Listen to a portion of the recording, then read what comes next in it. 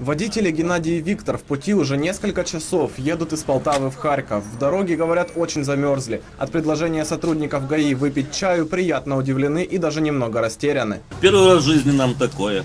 Вы покажите, чтобы люди поняли, что теперь на каждом посту будут угощать чаем. Уже если водитель замерзнет машина ночью или что, уже остановится, зайдет, хоть погреется человек. Комнаты для обогрева оборудованы на пяти стационарных постах ГАИ. Водители говорят, нововведение поможет улучшить отношения с дорожными инспекторами. Им предлагают просто выпить там чашку чая или чашку кофе, или обратиться по какому-то вопросу. Так что, конечно, это сближает.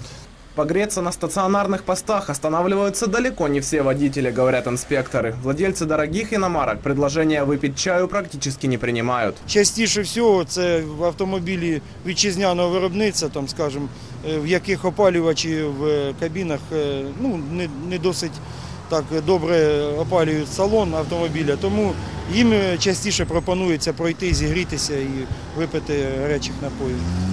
Угоститься горячим чаем с печеньем в специальных комнатах на постах ГАИ водители смогут, пока не отступят морозы. Денис Квартальнов, Кристина Загребельная, Павел Кубраков, медиагруппа «Объектив».